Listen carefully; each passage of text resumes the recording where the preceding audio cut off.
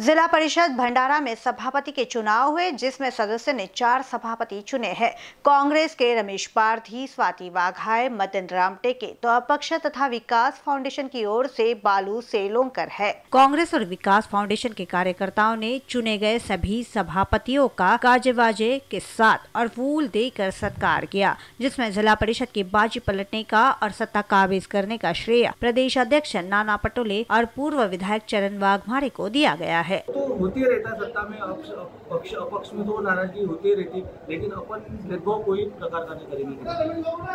हर इंसान के लिए अपन जो हो सके वो अपन उनकी जरूरतमंद पूरी करने की कोशिश करेंगे कांग्रेस राष्ट्रीय कांग्रेस पक्ष के प्रदेशाध्यक्ष माननीय नाना पटोले साहब ने जो मुझे इस भंडारा जिला परिषद के सभापति पद की जो जवाबदारी दिया है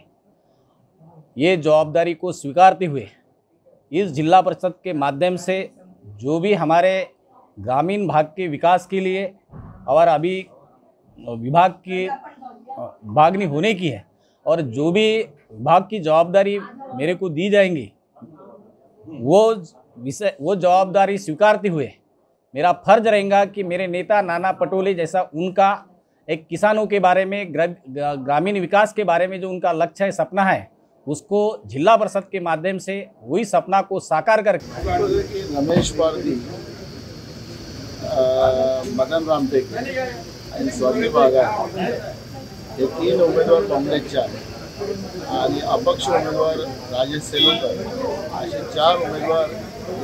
काँग्रेस आणि अलायन्सच्या माध्यमातून दिलेले आहेत. आणि चारही उमेदवार निवडून